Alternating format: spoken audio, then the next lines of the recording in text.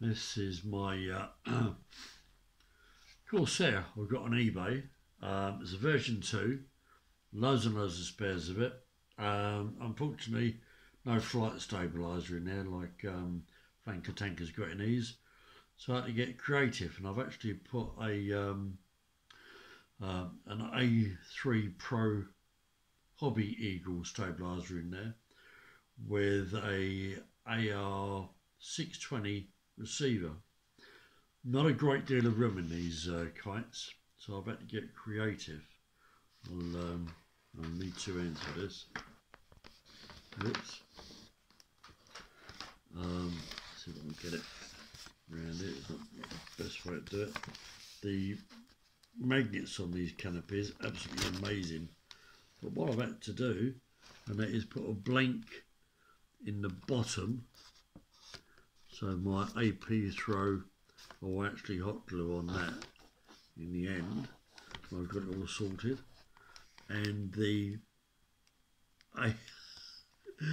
AR620 I actually glued upside down inside the canopy. It's the only place you can get it all.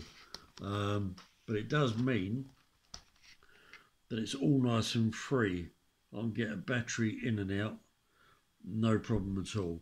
The um, speed controller, unfortunately, that's flying about all over the place. I've had to uh, put a couple of dabs of hot glue in there just to keep it nice and tight.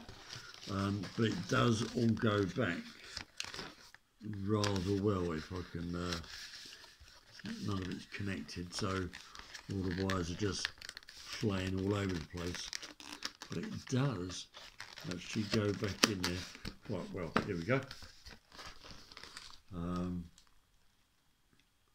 so it's the only way you can actually do it. Um, I had a spare Hobby Eagle going, so um, rather than get the um, FMS stabilizer, I thought I'd shoehorn that in there.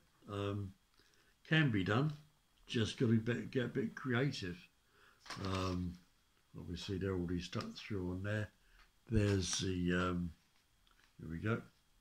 There's that blanking I put in there. It's a piece of plywood, very thin plywood I'd left over uh, from another project I was doing. And that's what the um, Hobby Eagle's uh, sitting on. So next thing is to uh, assemble it all and get the um, electric sorted out.